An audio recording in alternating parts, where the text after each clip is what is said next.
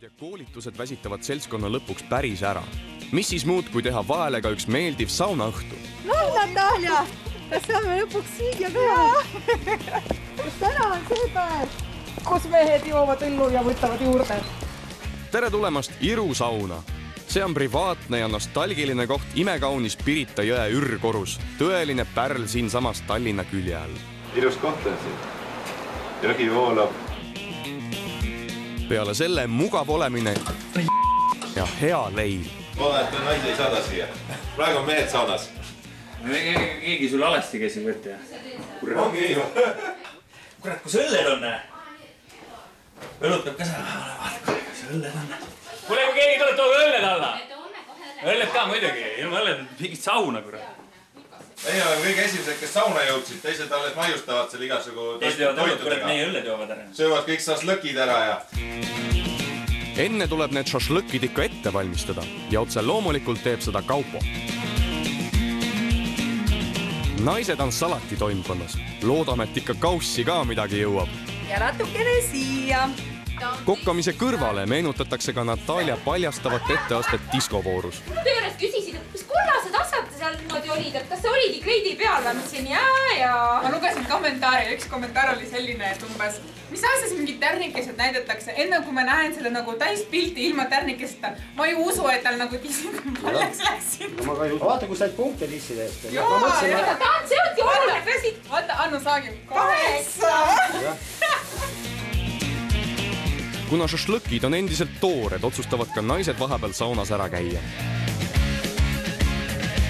Vapramad on otsustanud end kargesse jõevette kasta.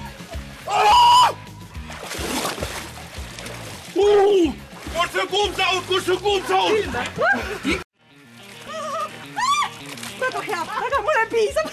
vahepeal on saunas läinud tõsiseks vihtlemiseks. naised on kõvad vihtlejad. lihalehti lendas nii, et äh, no ma ei kujuta ette ja pärast nad tegid veel massaaži. Nad tegid küll omavahel, et meestele nad ei teinud millegipärast massaaži, aga naised omavahel on ikka kõvad vihtlejad ja massaažitajad. Ja naised omavahel on päris kaunis vaade ka. Kaupo aga on omas elemendis. ühesõnaga sai lõpetatud see diletantlik liha mõnitamine võtsime ohjad üle. ja hakkame siis kõigepealt teeme tuleriidad, et tekiks süsi. ja siis saame ka lihad küpseks ükskord. ei tea, mis kellaks. mulle tundub, et mina olen siiski alla võtnud, sellepärast et niimoodi on ju, käisin ennem, aga nüüd juba läheb niimoodi. aga mul on see MyFitnessi rätik, mul on nagu tester on. ma ta alguses sain, et siis ta jäi mul ümber kinni, ma sain nagu otsad kokku panna, siis näpuga hoidsin, kui läksid duši alla. aga nüüd saab juba niimoodi nõpsti, juba, juba saab käed lahti see lasta. väike higirätik jah, ja see väike. pane veel, kõik tahavad süüa, süüa, süüa, süüa. selle kõige otsmise. Loodame, et teise ka, keegi tahab äkki toorimat. tavaliselt ikka oodatakse kõik laud ära, aga paistab, et teie kõhud on nii tühjad, et alustate juba ilma meeleta. sa oled õigesti asjast aru saanud. kuid nii enda kui ka kaasvõistlejate suutäitel hoitakse silma peal. liha ei lähegi või? ei, ma ikka niimoodi praegu õhtul ei söö enam jah. ta valetab ikka, ikka kodus sõi juba torti. Läheb koju, võtab sealt mingi šašlõkid, mašlõkid. sööge seda šašlõkki, aga sööge kaks tükki või, või noh, kuni, kuni viis tükki, ärge rohkem sööge. ole kaks teine. Robert meil on. ja meil on uus toitumisspetsialist. ja, ja no kuul, kuulame teid.